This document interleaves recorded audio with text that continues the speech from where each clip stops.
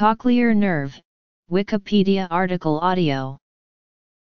The cochlear nerve is one of two parts of the vestibulocochlear nerve, a cranial nerve present in amniotes, the other part being the vestibular nerve. The cochlear nerve carries auditory sensory information from the cochlea of the inner ear directly to the brain. The other portion of the vestibulocochlear nerve is the vestibular nerve, which carries spatial orientation information to the brain from the semicircular canals, also known as semicircular ducts.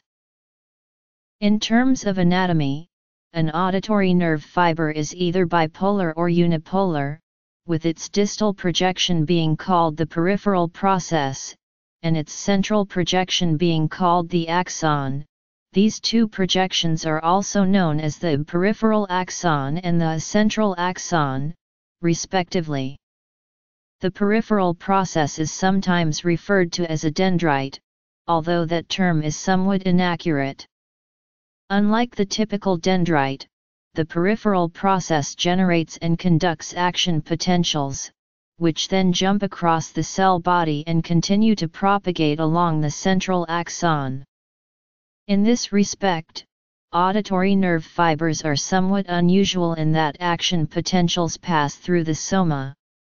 Both the peripheral process and the axon are myelinated. Anatomy and connections Types of neurons In humans, there are on average 30,000 nerve fibers within the cochlear nerve. The number of fibers varies significantly across species. The domestic cat, for example, has an average of 50,000 fibers. The peripheral axons of auditory nerve fibers form synaptic connections with the hair cells of the cochlea via ribbon synapses using the neurotransmitter glutamate. The central axons form synaptic connections with cells in the cochlear nucleus of the brainstem. The cell bodies of the cochlear nerve lie within the cochlea and collectively form the spiral ganglion, named for the spiral shape it shares with the cochlea. These central axons exit the cochlea at its base and form a nerve trunk, which, in humans, is approximately 1 inch long.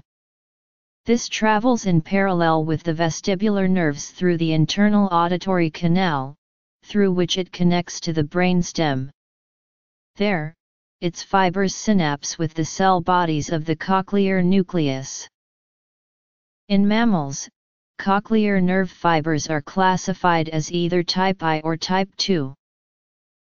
In mammals, the axons from each cochlear nerve terminate in the cochlear nuclear complex that is ipsilaterally located in the medulla of the brainstem.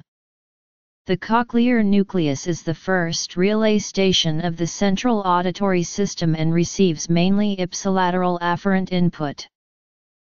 The three major components of the cochlear nuclear complex are Cochlear nuclear complex Each of the three cochlear nuclei are tonotopically organized.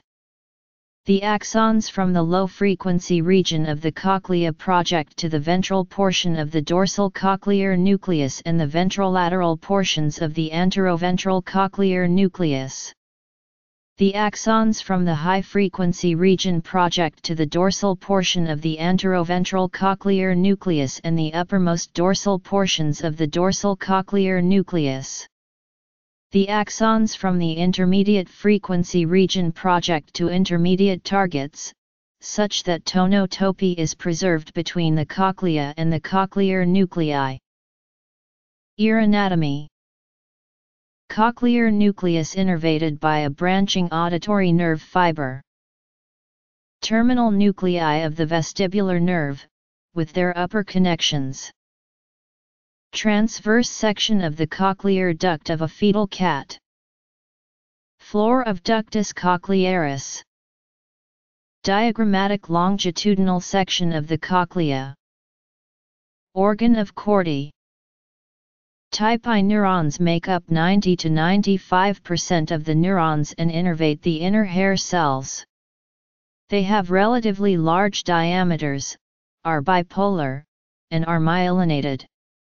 Each type I axon innervates only a single inner hair cell, but each inner hair cell is innervated by up to 30 such nerve fibers, depending on species and location within the cochlea.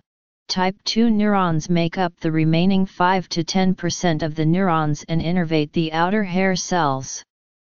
They have relatively small diameters, are unipolar, and are unmyelinated.